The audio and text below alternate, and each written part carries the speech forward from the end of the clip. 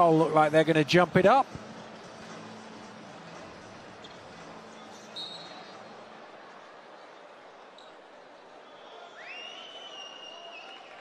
And here we go then, the second game in Group C here at the FIBA Basketball World Cup is underway and it's Penranda.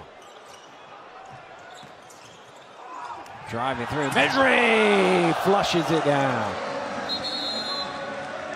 Some looking towards the official as to why there was no charge. I'm just wondering where his feet were, whether he was out. I want to move the ball rather than dribble into entry.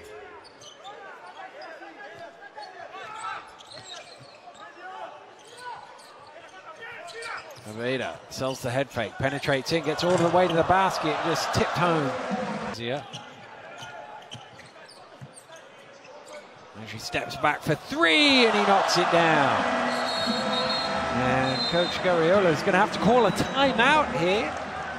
His team trailing. Opponents celebrating. It's Spain 18, Tunisia 25. The pressure defense on uh, Abada. He needs a screen to try and get himself some room. Nice work, driving to the hole. Mejri throws it down. Good. Great job by Sal. Uh, Mejri, Rubio. Out to Fernandez. The bench went up thinking he was shooting three. Oh my goodness! Oh, oh. double block. Second one's called a foul. Wow, Mejri with that first block though. Look at this pinned him to the glass. And he came from distance.